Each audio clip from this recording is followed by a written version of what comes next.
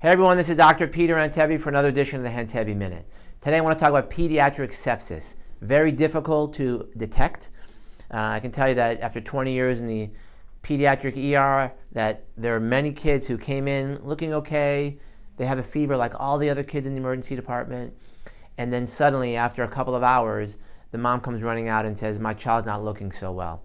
And it turns out that that one child out of the others was maintaining their blood pressure but their heart rate was up, they were breathing a little faster, and then suddenly when the blood pressure goes down, we start ringing all the bells. Well, maybe that's too late by then. So pediatric sepsis is difficult to detect. So let's talk about the, the important numbers, and this came out in a study recently. It's heart rate, heart rate, heart rate.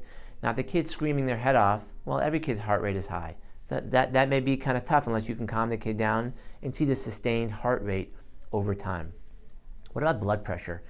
Many agencies, it turns out, aren't even checking the blood pressure, but it's so important to check a blood pressure on a kid.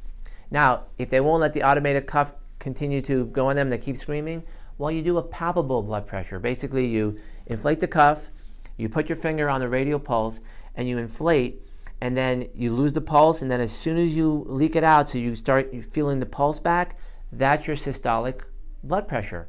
So once you're under the fifth percentile for blood pressure for that age range, then you're hypotensive. So if you look in the app that we've created under vital signs, you'll see a systolic blood pressure.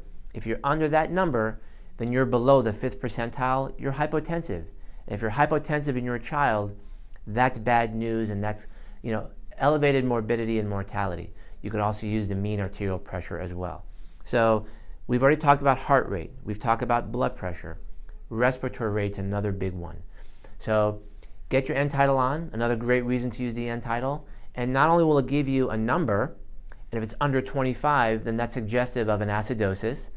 And you can also see basically if your respiratory rate is high. So putting an end-tidal on gives you two important pieces of information. And then lastly is the child's mental status. Are they altered, sleepy, not really responding to you, not looking at you as you're walking into the room? That's not a normal child. So many of you may have heard of have heard of qSOFA. Uh, we've kind of transformed that into what we call the HAT criteria. A child who has a suspected infection, and then let's go one at a time. H, are they hypotensive? Below the fifth percent systolic blood pressure for their age. That's number one. A, are they altered? Um, and altered mental status in an adult or kid is bad. And then T for tachypnea. Are they breathing fast?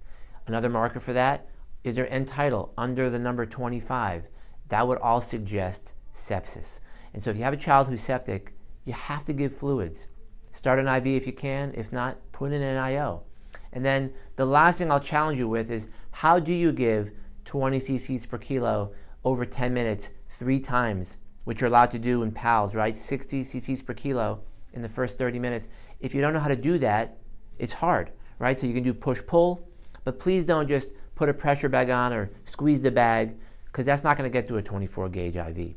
And of course, you've all heard, hopefully, have heard of LifeFlow, which is created by uh, an amazing doctor, Mark Piehl, who created a device where you can get like 500 cc's in within a minute. We use it at our hospital with great success. So, however you do it, understand sepsis, know that it's hard to determine, right? You'll get fooled by it, but don't hesitate to give IV fluids, give them fast, and give them frequently. Again, this has been Dr. Peter Antevy. Thank you for joining me on this edition of the Handtevy Minute.